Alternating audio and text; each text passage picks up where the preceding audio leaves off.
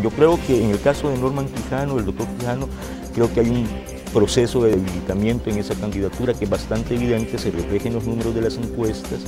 Y en el caso del de, profesor Sánchez Serén, creo que es que de entrada eh, es una candidatura no ganadora. Hoy, en la entrevista de Hechos AM de Canal 12, el periodista Romeo Lemus conversó con Giovanni Galeas y Juan Ramón Medrano, analistas políticos de nuestro país.